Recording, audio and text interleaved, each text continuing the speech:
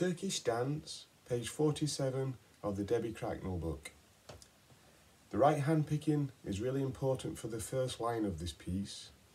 Throughout the first line, your thumb will always pluck the G string, the index finger will always pluck the B string, and the M finger will always pluck the first E string.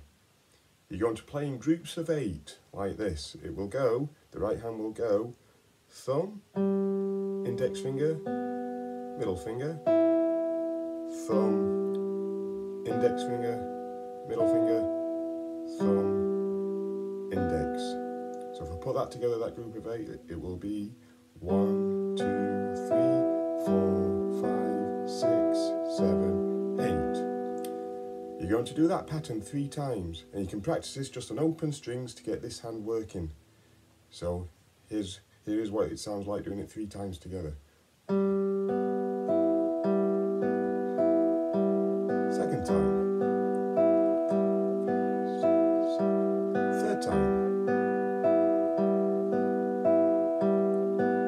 Okay, so for the first bar, the left hand is going to start with the chord of D minor.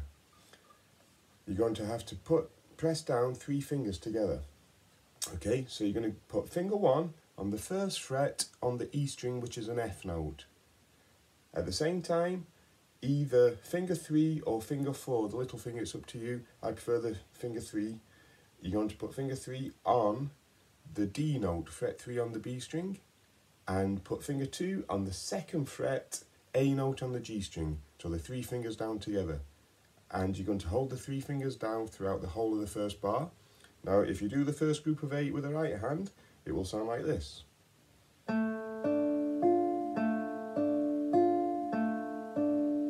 Now the second bar, finger two stays on the A note. Take finger one and three off. Now move your first finger that was on the F, move it across to the first fret on the B string, which is a C note. Now do the same, hold the fingers down on the C and the A throughout the whole second bar, and now do that group of eight in the right hand picking for the second time now.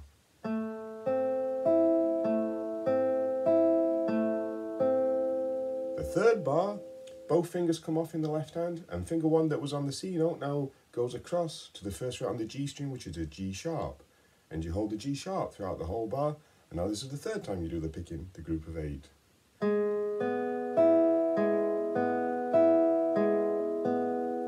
Now the fourth bar of the first line, the last bar of the first line, the left hand fingers go back to the C and the A note down together. The picking pattern changes a little bit in this bar. There's only five notes in this bar, but your thumb and your fingers pluck the same strings, but you do it in this order. You go thumb, index, middle, back to the index, and then back to the thumb, and then stop the strings. So, the whole first line will sound like this.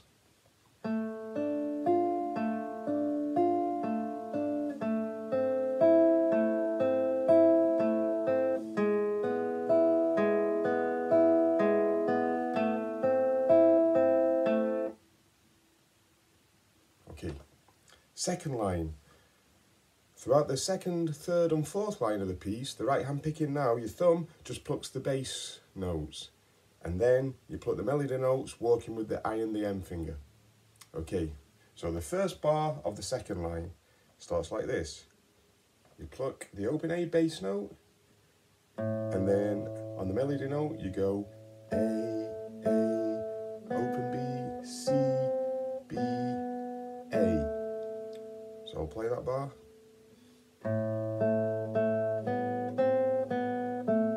Second bar is now an E bass note, and it goes E to an open B, and then there's a quaver rest, then E, B, E. So I'll play that bar now. E, B, rest, E, B, E. Now the third bar of the second line starts with an E bass note, and it goes thumb on the E bass note, and then B,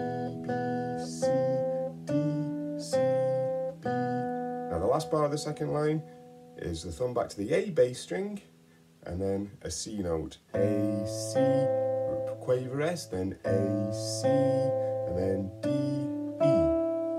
So if I play the second line together, that will sound like this.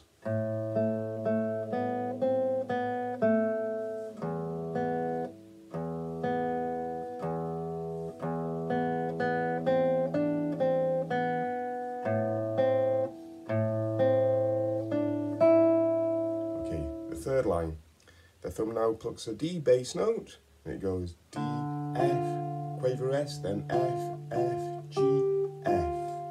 Second bar of the third line is open A bass note to an open E, quaver rest, E, E, F, E. Third bar of the third line is an E bass note, and it goes E to the fret 3 D, quaver rest, and then D, D, E, F. Then the last bar of the third line is an A bass note. Then the fingers, the A and the M finger, are going to pluck two notes together.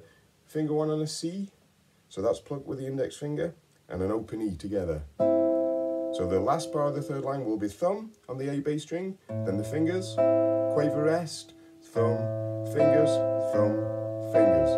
I'll play that bar again. Okay, now the fourth line. The first two bars of the fourth line are the same as the first two bars of the third line. So the first two bars of the fourth line will be this again. D, F, quaver rest, F, F, G, F. Second bar of the fourth line is open A bass note to an open E, quaver rest, E, E, F, E. Now the third bar of the fourth line will be an open low E to a D, quaver rest, and then it goes D, D, and then to fret 2 on the B string, which is a C sharp, and then to fret 1, which is a C natural, a normal C, and then open B. So that will sound like this.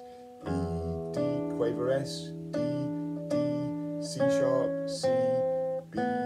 Then the very last bar of the fourth line is an open A bass note to an A melody note, and it goes thumb, finger, quaver rest, thumb, finger, and then crotchet rest. Okay, so the very last line of the piece now, the first three bars are the same as the first three bars of the first line.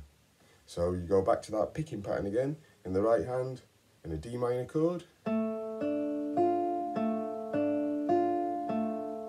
Next bar. Third bar of the last line, G sharp. What you do for the very final bar of the piece, you go back to the C and the A in the left hand, pressing the fingers down together.